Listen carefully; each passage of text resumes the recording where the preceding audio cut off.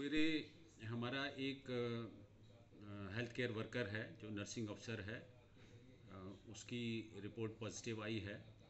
ये health care worker urology IPT में काम कर रहा था और 24 तारीख को सबसे पहले इसको सिम्टम्स डेवलप हुए, जो कि माइल्ड थे माइल्ड कॉफ और सोर थ्रोट 24 तारीख को इसने हमारी स्क्रीनिंग ओपीडी में रिपोर्ट नहीं किया।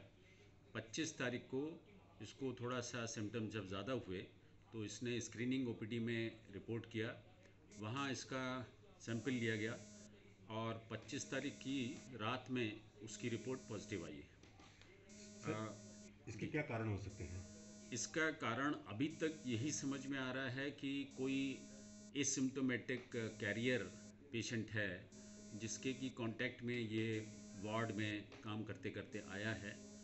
और उसकी वजह से ही इसको ये संक्रमण हुआ है। अब एम्स की इसके आगे की स्ट्रेटेजी क्या होगी?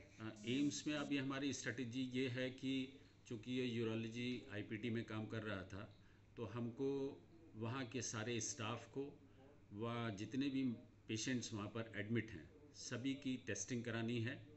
तो स्टाफ की ओपीडी में स्क्रीनिंग चल रही है और उनका सैंपल लिया जा रहा है। उसी तरह से जितने भी पेशेंट्स वहाँ पर एडमिट हैं, उन सभी का सैंपल लिया जाएगा और उसको भेजा जाएगा।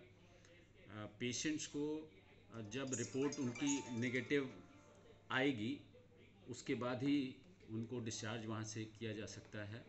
कोई भी नया पेशेंट उस ब्लॉक में नहीं लिया जाएगा।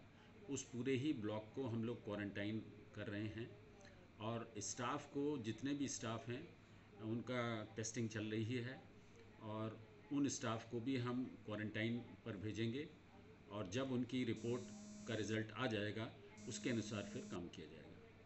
सर एम्स का जो ओपीडी है जो बीच में शुरू की थी पेशेंट्स के लिए उस पर मतलब कुछ बताएँगे आप? मतलब जारी रहेगी या फिर हम कहीं ना कहीं रजिस्ट्रेशन करेंगे? एम्स की जो जनरल एक ओपीडी हम लोगों ने बनाई हुई है और एक कोविड स्क्रीनिंग की ओपीडी बनाई हुई है तो वो फ़िलहाल वो दोनों ही ओपीडीज़ जारी रहेंगी।